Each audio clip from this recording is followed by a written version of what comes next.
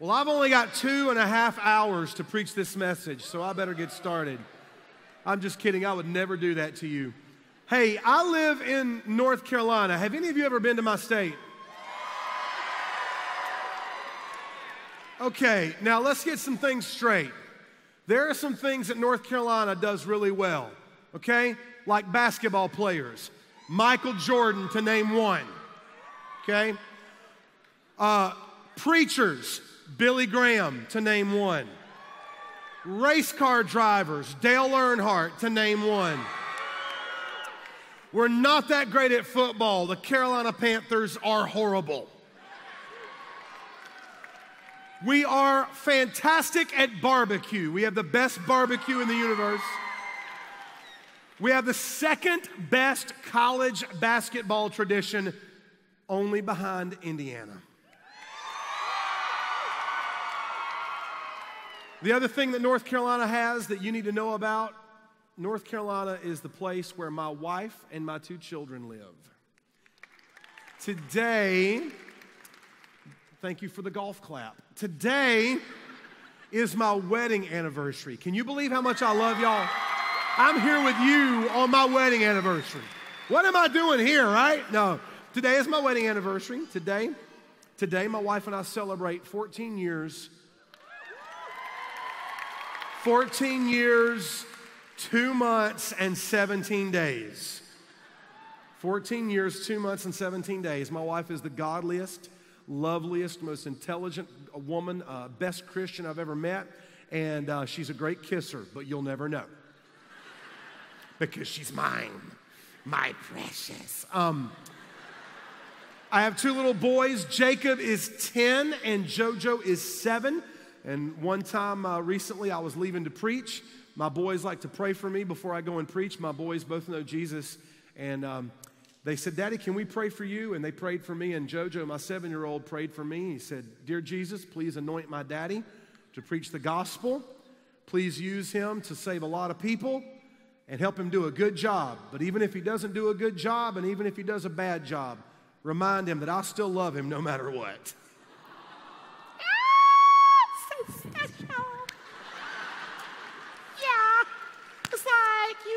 Just want a baby. And the boys are like, I don't want one yet. it's okay. It's okay. You'll get married one day, and if the Lord gives you children, He'll give you the grace to make it through. Uh, my two boys are the joy of my life. And I've been in ministry now 26 years. I, I was uh, a 14 year old eighth grader who thought I was a Christian because I went to church.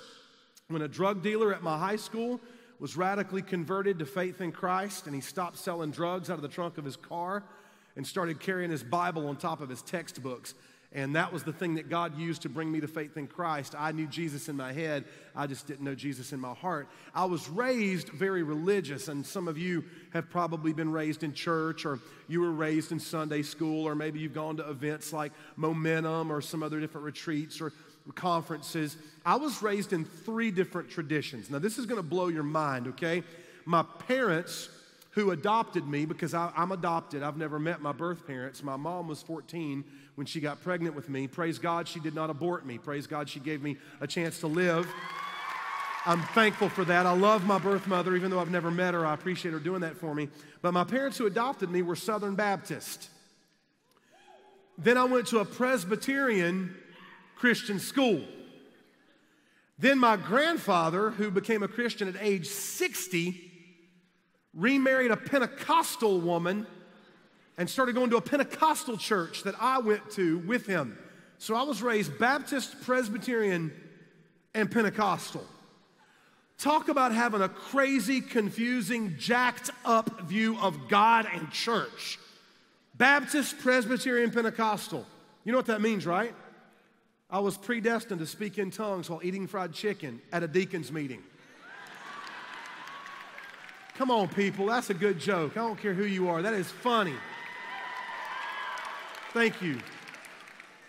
So, when I was 14 and the Lord saved me, uh, it, it, was a, it was a radical change. Of direction in my life. And I want to share with you guys and with you ladies a little bit today from the Gospel of Mark, Mark chapter 8. If you have a Bible, you can go ahead and turn there. I want to go ahead and get down to business. I know you guys have a lot going on today, and I want to be mindful of your time and respectful of your schedule. Uh, after the service, after this worship service is over, we've got a 15 minute intermission, and I will not be here this afternoon. I have uh, I run a big camp in uh, North Carolina called Crossroads. We have 4,000 students coming to our camps this summer, and we just wrapped up last night, and we turn around and start back again tomorrow. So I've got to fly home this afternoon. But during the intermission that's coming up in between this service and the next one, there'll be about 15 minutes, and directly out that door, uh, I'll be out there at my table. I've written several books. I have three of them with me today.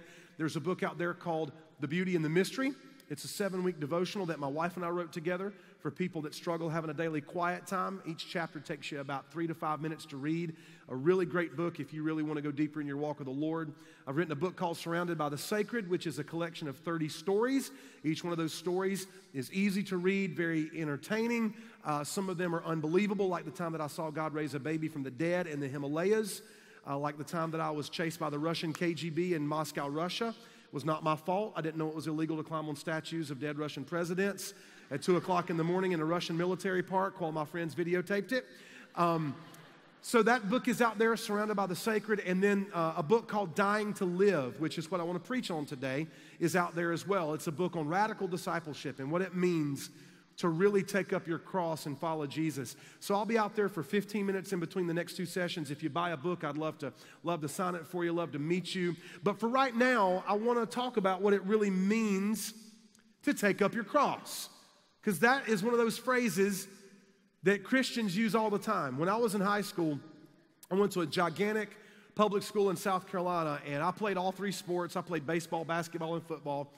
And on the football team, especially in the locker room, uh, the guys did not always talk about encouraging godly things. They would talk about drugs, they would talk about drinking, they would talk about sex, they would talk about all sorts of things. And I can just remember as a Christian, 15, 16, 17, 18 years old, I used to sit there in the locker room and hear these guys talk about girls disrespectfully. Hear these guys talk about how drunk they got, or how high they got, or how much sex they had on a weekend. And I used to remember them making fun of me because I didn't do those things. And I used to say to myself, well, I'm just taking up my cross. And that is kind of what that means. I can also remember in my uh, junior year of English class, I was in the AP program, and I was uh, one of the few Christians in that class.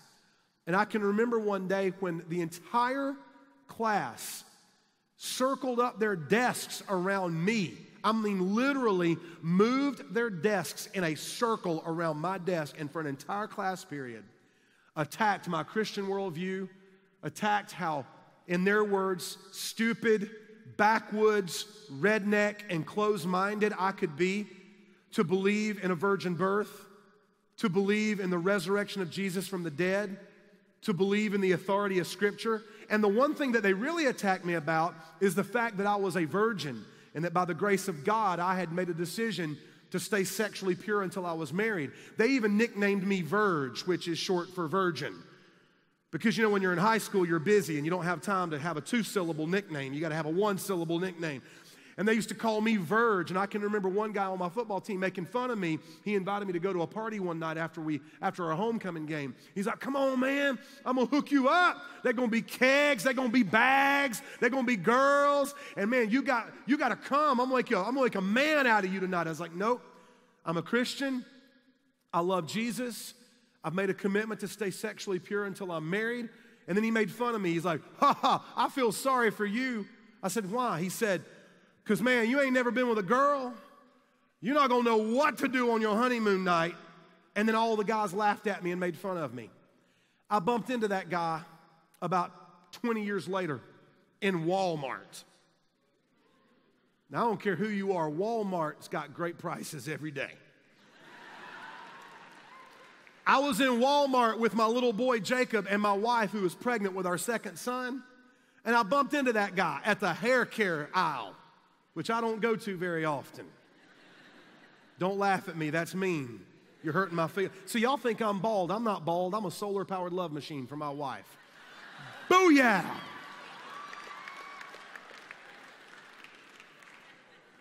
I bumped into him. I was like, hey, What's up? He's like, Clayton, how you doing? I was like, I'm good. We had a little, we had a little talk for a few minutes. I said, hey, my, before we go, you remember what you said to me, homecoming in the locker room? Remember you invited me to a party and you said, I'm gonna make a man out of you? And I said, I don't want to. And I said, You remember making fun of me? And he dropped his head. He goes, Oh, yeah. I said, Do you remember what you said about sex? Yeah, no, oh, oh no. I was like, You told me I would not know what to do on my honeymoon night because I was a virgin. You told me I would not know what to do. Do you remember saying that to me? Yeah. I was like, I'd like you to meet my son Jacob and my pregnant wife Sharie. I knew exactly what to do on my honeymoon night.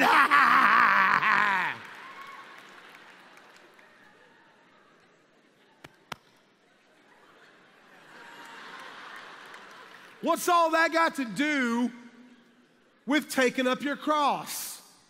Because you girls and you guys are in that stage of life right now where some of you do know Christ and you are a Christian. You gave your life to Jesus, maybe even earlier this week. Some of my best friends have preached here for you guys this week.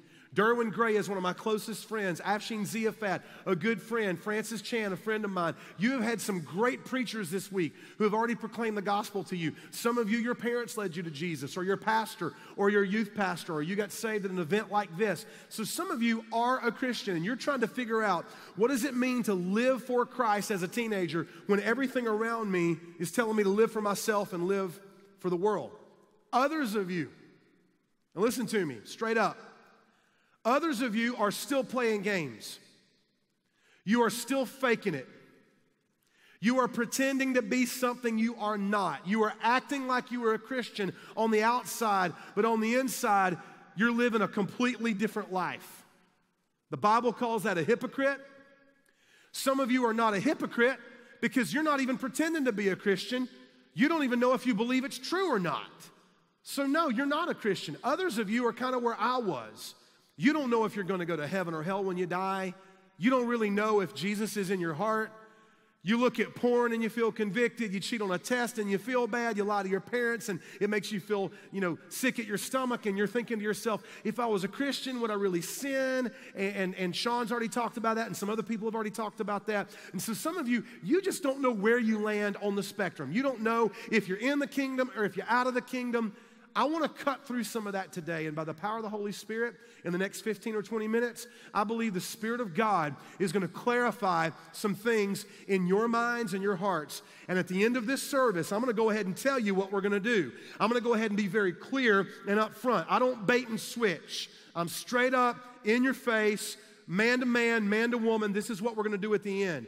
At the end of this service, we're going to have an invitation where Jesus is going to invite those of you who are not really saved. You're not a Christian yet. You have never really embraced the cross. And you're going to have an opportunity to give your life to Jesus, to do more than just pray a prayer.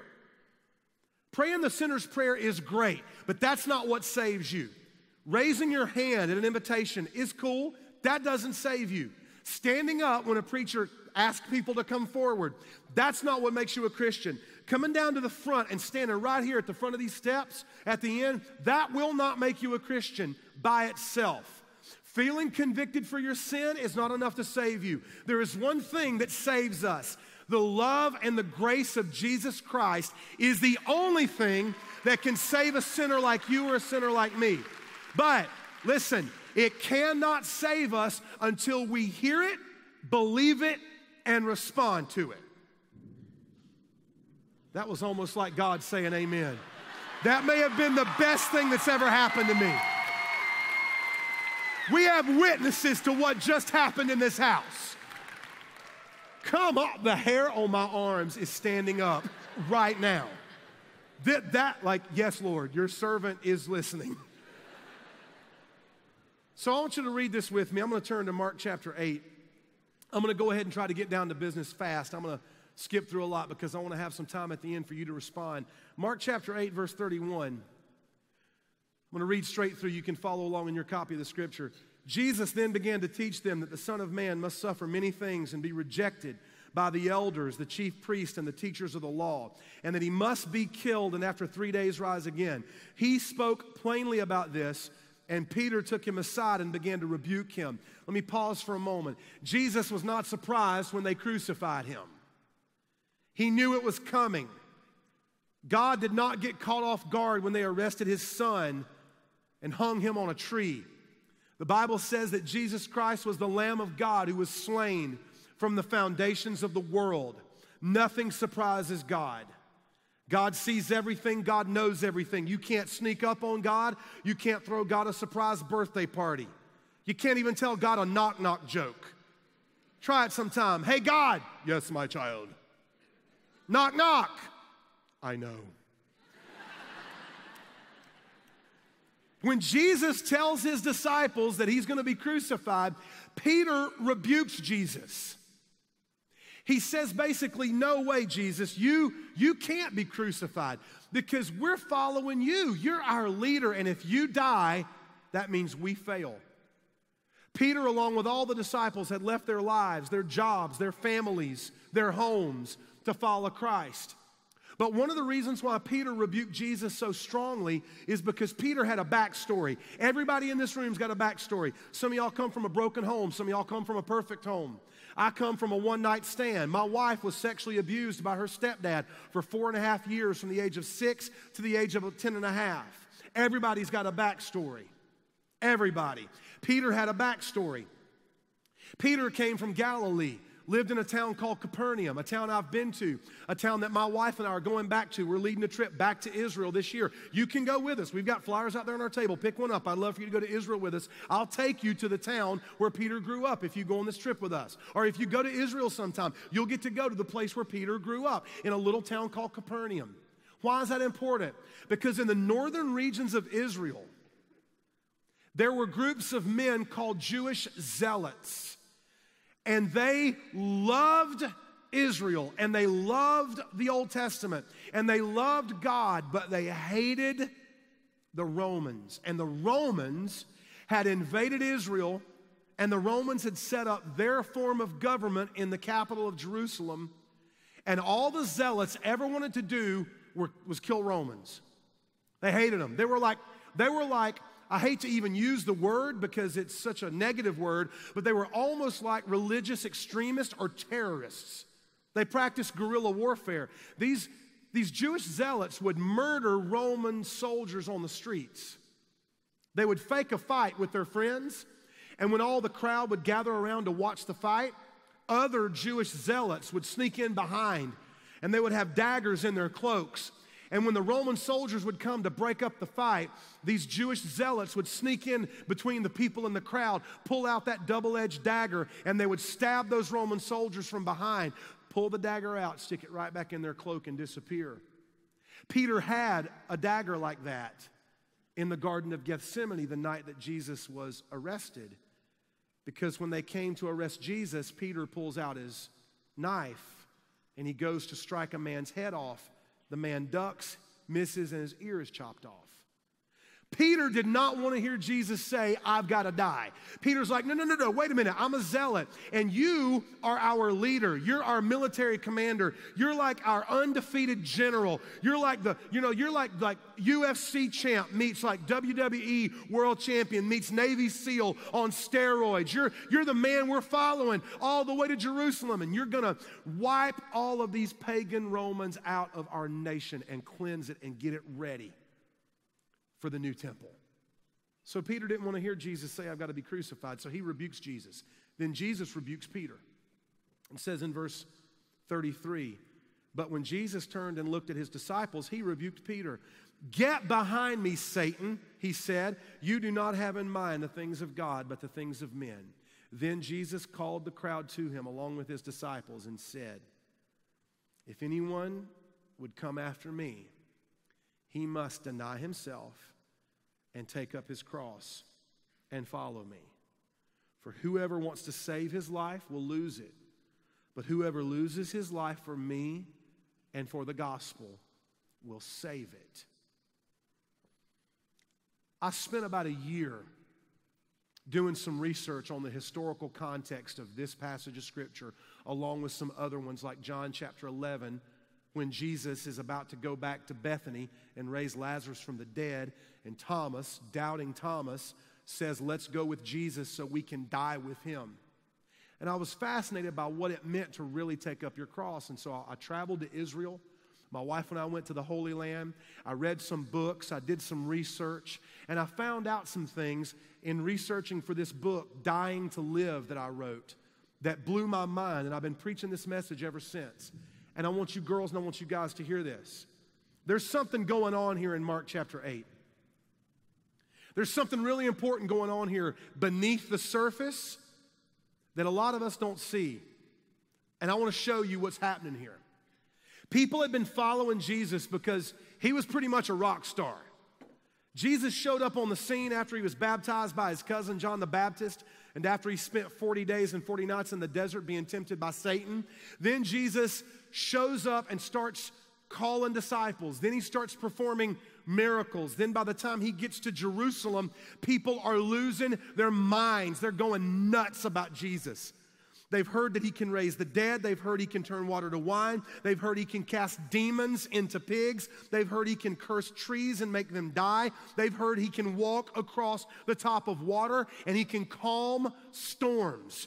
There was a buzz about Jesus. And so all of the common blue collar Jewish people were thinking, this is it. He's the Messiah. He's the military leader that's come to destroy the Romans and rid them get them out of our country. The Pharisees and the religious leaders didn't like Jesus because they thought Jesus was going to be more powerful and more popular than them. So they began to plot how they would kill Jesus. So people are following Jesus because he's healing sick people, he's raising dead people, and he's feeding hungry people. So in Mark chapter 8, the crowds are huge. And Jesus gathers the crowds to him, and it's almost like this is the moment in the Gospel of Mark when the whole story shifts. This is the moment where, like, everything changes. Jesus goes from being really popular rock star that everybody loves to we're not really sure if this guy's legit or not.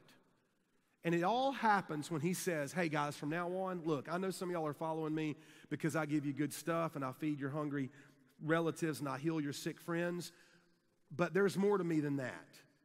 If you really want to follow me, if you really want to be my disciple, if I could use our terminology today, if you really want to be a Christian, if you really want to have a relationship with Jesus, if you really want to belong to Christ, if you really want to be in His kingdom, a part of His family, Jesus does not promise you an easy life or a happy ending or that all of your prayers will be answered.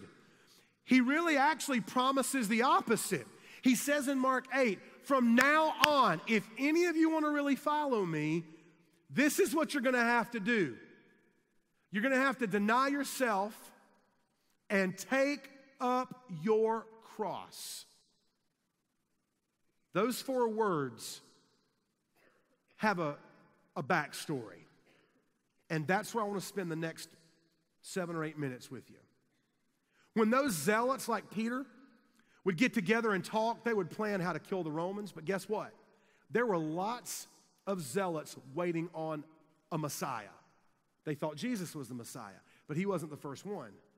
There had been multiple Jewish guys who would show up during, throughout the years and say, Hey, I'm the promised one. I'm the, I'm the one the prophet spoke about. Follow me. We'll kill all the Romans and we'll rebuild the kingdom of God and we'll rebuild the temple of Solomon and David right in the heart of Jerusalem. And every one of those guys that would say they were the Messiahs, they'd all end up flopping because they weren't really the Messiah. So these zealots were so anxious to find a military leader. When Jesus was a little boy, we don't know exactly what year this happened. The, uh, the world renowned historian Will Durant puts it somewhere about the time that Jesus was between the ages of 5 and 10. So, sometime when Jesus was between the ages of 5 and 10, there was a guy from Galilee, the same place that Peter and Andrew and a majority of the disciples came from. There was a guy from Galilee. And if you want to read, he's referenced one time in the New Testament. It's in Acts chapter 5, verse 37. He's called Judas the Galilean. He's mentioned one time in the Bible, but history records Josephus, the historian, wrote about this guy. Judas the Galilean claimed to be the Messiah. And he recruited, get this, this, this blows my mind. He recruited thousands of zealots to follow him. And he convinced them he was like God in the flesh. And this is the plan they came up with. Judas the Galilean had, he was a cult leader essentially. He had convinced them that he was bulletproof, that he could not be killed, that if they would follow him and march into Jerusalem, they would kill all the Romans, they would rid the Holy Land of all these Gentiles. And so, about 2,000 of these guys, most of them farmers and fishermen from Galilee, who were not trained in war, who did not know how to fight battle, they followed him all the way to Jerusalem. And when Jesus was a, a little boy, probably around the same time that some of his disciples were little boys, Judas the Galilean leads somewhere around 2,000 men into Jerusalem. And they begin to systematically attack Roman soldiers. The Roman soldiers were like the police officers of Jerusalem, and their job was to keep the peace. And so these Jewish zealots start killing Romans. It didn't take long, though, for the Roman soldiers to figure out what was going on. And so they defended themselves. They killed probably about 500 to 1,000 of those zealots. But this is where the story gets absolutely mind boggling. They decided not to kill all 2,000 of the zealots. They decided to take the remaining uh, survivors and use them as billboards for propaganda. Just like when you're riding down the interstate and you see a billboard for McDonald's or a billboard for Starbucks or a billboard for a gas station, the Romans invented propaganda, and they knew the best way to keep Rome's power was to intimidate its subjects. The Jews were subjects of the Romans. So, you know what the Romans did? They issued an edict and they began to crucify those zealots on crosses all throughout the city of Jerusalem. But they didn't just crucify them, they made them carry their own cross. So they captured all the remaining zealots who survived. They tied their hands up. They went and they got crosses, pieces of wood that they recycled. See, they didn't make a new cross for every criminal they killed. They used the recycled crosses, the ones that were covered with blood and flesh and skin and intestines and hair from the previous victims who had been crucified on them. And so, two Roman soldiers would take one Jewish zealot, they would bring a cross to them, or in many cases, the cross beam, just that part where the hands would be nailed, and they would say four words. Josephus records this, other historians reference this. They would look at the cross and they would tell that zealot, Take up your cross. And the zealot would pick up the cross and carry it, or he would drag it to a prearranged place. And then those two Roman soldiers, who were kind of like a security detail, when they found a suitable place with a lot of traffic, with a lot of people, a marketplace, an intersection near the temple, along the streets of Jerusalem, when they found a place that was a high traffic location where they knew a lot of people would witness the crucifixion, they would say, Lay down your cross. And then that Jewish zealot would lay down his cross. Then he would climb on the cross. Then they would tie ropes around his forearms and around his shins and his calves to keep the arms and the legs still while they were driving nine inch long railroad spikes into the hands and the feet of those zealots. Then, once the nails were driven through the flesh into the wood, they would lift up the cross. They would place it in a hole, or in some cases, they would they would lift up just that crossbeam and then they would nail the crossbeam to an olive tree and they would crucify them on olive trees along the sides of the road. And they also issued in that same edict a rule that you were not allowed to take down those bodies after those men died. So, for the first two or three days, there were a thousand men hanging on crosses along the streets of Jerusalem screaming for mercy, begging for a drink of water, begging for someone to smother them, strangle them, break their legs, cut their throat, because that kind of pain made people beg for mercy. But if you were related to one of them, you couldn't take them down. You couldn't end their misery. You could not go anywhere in Jerusalem without seeing one of those men hanging on crosses. After four or five days, all those men are dead But you still couldn't take their bodies down because Rome was trying to make a point. Rome was saying, We're in charge, not you. You do what we say. Don't rebel against us. We're the boss. So those men's bodies hung on those crosses. Do you know that there are historical mentions of those crosses with bone fragments and skeletons still hanging on them a hundred years after Jesus was raised from the dead? Now, back to Mark 8:34. Jesus says, 25 or 30 years after the rebellion, 25 or 30 years after Judas the Galilean is crucified on a cross along with a thousand of his zealot followers, 25 or 30 years after those men are lined up along the roads in the holy city, Jesus says, I know y'all are following me because of the free food and the free show, but I didn't come to just fill your belly, I came to save your soul. I didn't come to entertain you, I came to redeem you. I didn't come to condemn you. I came to love you and save you. And Jesus says, So if you want to follow me, it's going to cost you something. And then I can't prove this. I mean, I, I, wasn't there, so I don't know. But Jesus was a master communicator, he was really good at his craft. It wouldn't surprise me to find out one day, maybe when we get to heaven, that when Jesus is teaching this crowd of people in Mark chapter 8 what it means to follow Christ, what it means to belong to Jesus, what it means to be a true disciple?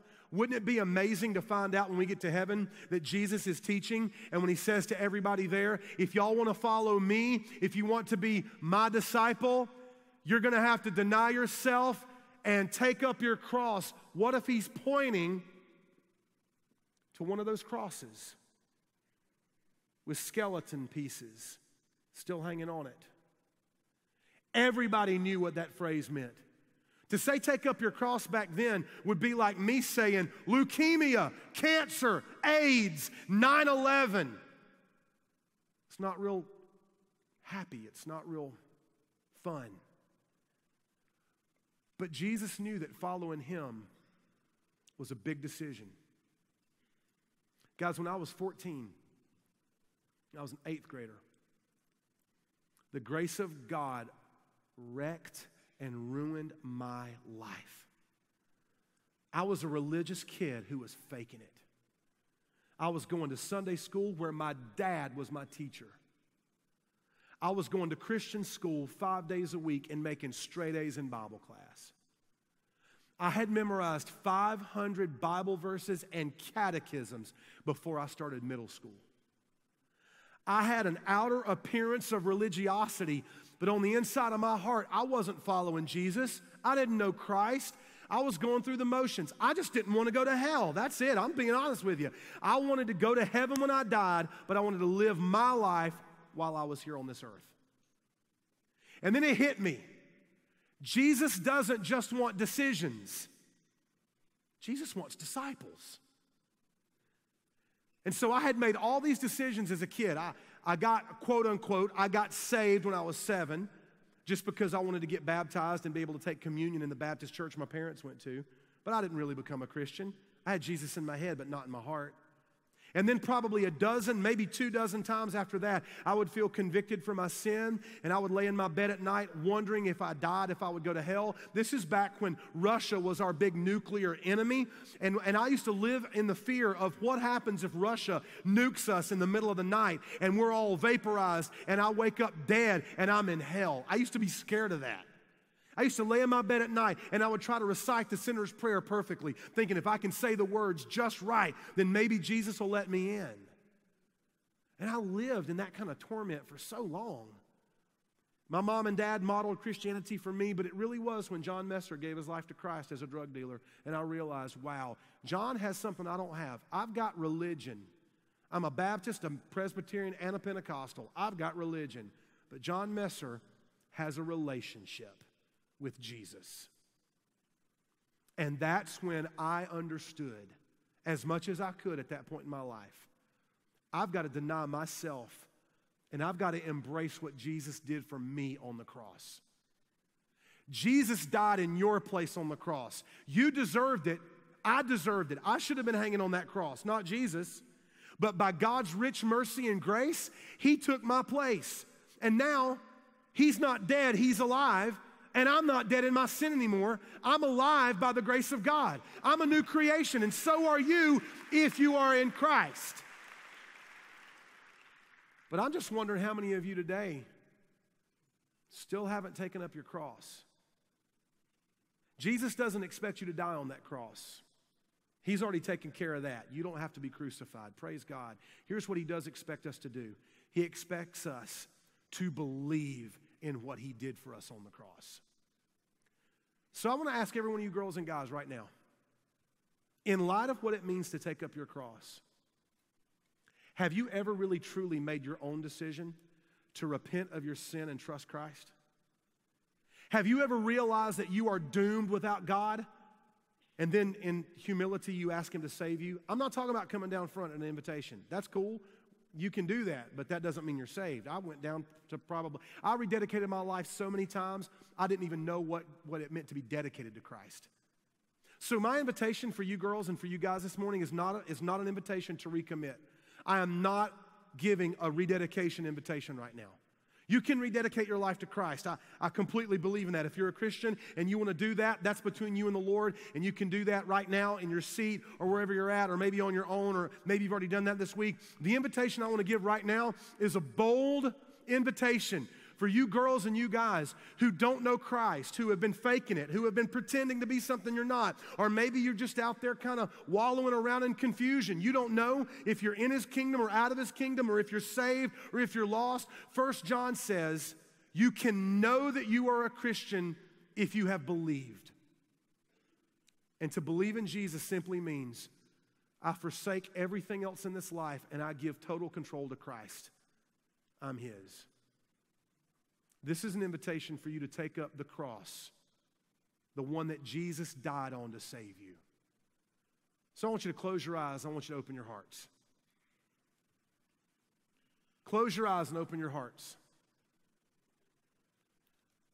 Many of you, probably most of you, are already saved. And I'm glad. A majority of you are probably already a Christian. Thank God for you. But some of you are not, and some of you need to take up your cross right now. The cross that Jesus Christ died on for you is available for your salvation right now. You do not have to leave Momentum. The 75th anniversary of Momentum, you do not have to leave this conference wondering or doubting or fearful or afraid or intimidated or scared about your eternity. Not only can you know that you will go to heaven when you die, but even better than that, you can begin a relationship with Jesus right here, right now, in this life. Your sins can be washed away, the debt can be canceled, and Christ can become your Lord right now, but you've got to respond. So, absolute silence in this room. Nobody moving, nobody getting up and walking out. I want your eyes closed, but your heart's open. If this is the moment that the Spirit of God has grabbed your heart, and you know that you need to respond, you need to repent of your sin, you need to give your life to Jesus, and you need to be saved then right where you sit right now, I'm going to ask you to call on the Lord. Romans 10 13 says, Anyone who calls on the Lord will be saved. So, right where you sit right now, with your eyes closed and your heart open, I'm asking you if you want to take up your cross, if you want to embrace Jesus, if you want to die to your sin in order to live to Christ, right now pray and ask Jesus to save you. I'll lead you in the prayer, but the prayer is not magic. I'm not praying it for you. I'm not a Catholic priest. You've got to pray it. You've got to mean it. You can call on the Lord. You have access to Jesus. Praying a prayer that a preacher asks you to pray doesn't make you a Christian, but confessing your sin does, and repenting and believing. So if you want to give your life to Christ, pray right now in your heart. Young or old, adult, 12, 16, volunteer, high school senior, doesn't matter. You can know Christ, you can meet him right now and begin a relationship with him. Pray this to him in your heart if you really want to know him and be saved. Pray this to him in your heart right now Jesus, I need you. Rescue me from my sin. I give you my life. I give you my future. I give you control. I give you everything. Forgive me of my sin, Jesus. And please save me right now. I'm all yours. And I'm all in. Thank you for dying on the cross for me. I embrace the cross. And I receive your love. I'm yours, Jesus. Right now. Total silence in this room, your eyes closed, your hearts open. I'm going to ask you boldly, clearly, and deliberately if you just prayed those words to Jesus Christ and you meant what you said, and you just took up the cross, you embraced it, you believed in Jesus for real. I want you right now, quickly, immediately, deliberately. If you just prayed those words to Christ, would you raise your hand straight up above your head and keep it up?